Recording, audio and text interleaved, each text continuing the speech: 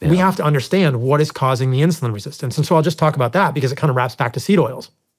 And I'm sorry this has been so so technical and such a long story, but it's a it's a big Gordian knot all of this. So I mentioned this earlier, metabolic dysfunction, insulin resistance, this primarily happens at the level of the mitochondria. If you cannot take substrate from food, which is glucose or fatty acids, and process them into NADH and FADH2 and move those electrons through the electron transport chain to make ATP, you are going to become insulin resistant. So, how does that get broken? It gets broken in two major ways. The first of these is seed oils, and the second of those is sugar. And I'll talk about sugar in a minute next. Seed oils, I think, are a problem at the level of the mitochondria because that linoleic acid is the most common, most abundant polyunsaturated fat that we consume today as Westernized Americans. And that linoleic acid accumulates in the membranes of the mitochondria. And there's evidence from animal models and cell culture that when you have excess linoleic acid from seed oils in the mitochondrial membrane, you get proton leak. And if you're, the whole point of the electron transport chain is to create a gradient that the protons can flow down to make ATP. If you are leaking protons across down the gradient, you are making less ATP. At the cellular membrane, we also know that excess linoleic acid, excess polyunsaturated fats creates leak and problems or overactivation of the sodium potassium ATPase. That's all very technical, but suffice it to say that my concern is that when you stuff yourself full of seed oils, you are creating an ATP leak in your body. You are not producing energy as well. And that leads to metabolic dysfunction. And that is actually the root molecular cause.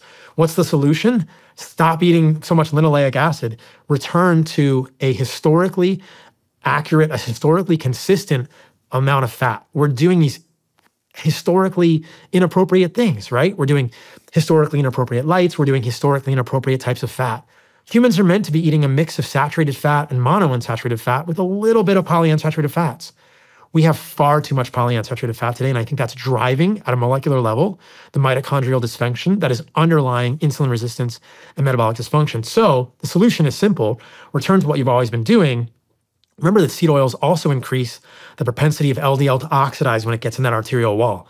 So, in so many ways, this historically horrible industrial processed oil full of hexane, benzene derivatives, oxidized oils, antimony from the plastic it's being stored in that humans have never been exposed to, which is being sold to you as safe and healthy by Harvard and Mayo because it lowers your cholesterol based on a faulty paradigm of atherosclerosis, is a major, major driver of illness in humans today. Wow. So that's the seed oil story. I'm sorry that was wow. so long.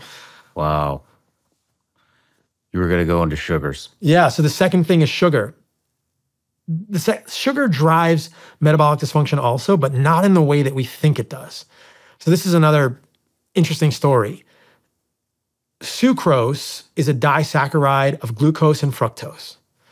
Glucose and fructose are monosaccharides. Sucrose is a disaccharide. Starches are polymers of glucose. When you have a fruit, an apple, I gave you guys strawberries downstairs, right? That has glucose and fructose in it. It has sucrose and it has some both of those sugars. That, if I give you a strawberry, that doesn't cause insulin resistance in humans. That's pretty clear, both at an associational or an interventional level. If I give you pure sugar, which is pure sucrose that's been refined out of that strawberry, or from sugarcane or from beets, or I give you high fructose corn syrup, which is a another industrial byproduct from corn, where they take corn, which only has glucose, and they isomerize it and they combine it to make a high fructose corn syrup, which is essentially like a fake sugar. If I give you either of those things, it does induce insulin resistance in humans. It's not because it raises your blood sugar, it's because it affects your gut microbiome negatively. So, historically, humans would never have consumed sugar without all of the other compounds in that strawberry. So, that strawberry is a complex food. It's not just sugar, it's red. It has, it tastes, right? There are thousands of components in that strawberry, hundreds of different chemicals in that strawberry that your body is used to getting with that sugar. And whether it's strawberry or banana or orange or honey, any of these sugar containing foods that humans have historically consumed, these compounds prevent the overgrowth of bacteria in our gut. But if you give a human pure sugar, you get dysbiosis. That is a strict, fast pathway to dysbiosis. If you wanted to, if you want to mess up the gut flora, give a human sugar. It doesn't matter if it's high fructose corn syrup or pure sucrose. It doesn't look like it's good for humans. But if you give a human a banana, it's fine. Or even even like orange juice. It doesn't even have to have fiber because orange juice has these same chemicals. There are naturally occurring chemicals in fruit, in honey, that mitigate the negative effects of sugar in our body. So sugar causes insulin resistance, but not because of why we think it does. We think sugar causes insulin resistance because it raises your blood sugar.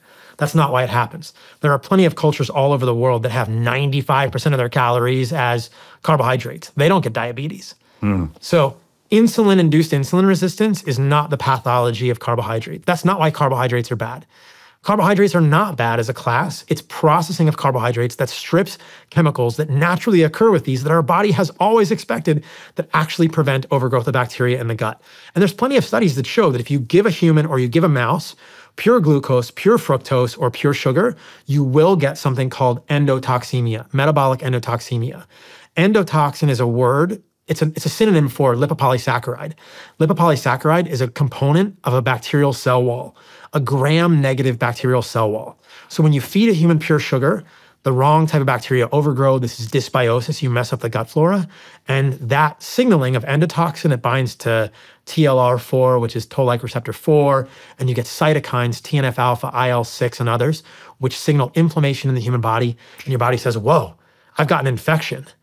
But you don't have an infection. You just ate a bunch of sugar.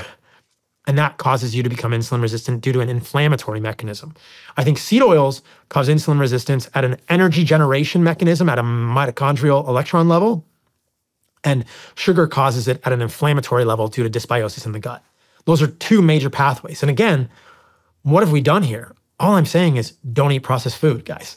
like, because if you eat single ingredient foods, meat and plants, fruits and vegetables and meat, you're not getting seed oils and you're not getting processed sugar. Problem solved. Humans get healthy. Diabetes fixed, obesity fixed, heart disease fixed, cancer mostly fixed. Like that that's that's so easy. But no. Global Energy Balance Network, Sean. Yeah. Just think about calories. Don't think about food quality. You can still do the Coca-Cola. You know, this wow. is the, this is the problem here. Is it's all kind of connected, right? And because who gets paid. So yeah, humans it's easy. And it's not that humans either need to eat rabbit food or food that's not palatable. I mean, I gave you raw steak earlier because the Airbnb grill was garbage, but you know, I could have given you cooked steak, squash, and strawberries. That's not horrible. It's maybe not as dopaminergic and as addicting as a Big Mac or Skittles, but that's hardly depriving yourself of like good tasting food. Yeah. So the, yeah. the answer is really simple. The molecular mechanisms I think are important to explain so that people understand what's going on beneath the surface and why all this happens. But essentially what's happened is that in the last 150 years, all of these foods have come into the human food supply, the American food supply, through the FDA, which really didn't do the right safety trials on them, and now we're just metabolically broken. But the way forward is super simple. We don't need AI vaccines. You know, we don't need crazy things. We we really don't even need GLP-1 antagonists, even though that helps some people. We don't need Ozempic. We just need to stop eating garbage food and return to the foods that humans have always eaten. That's it's it's that simple. It's crazy.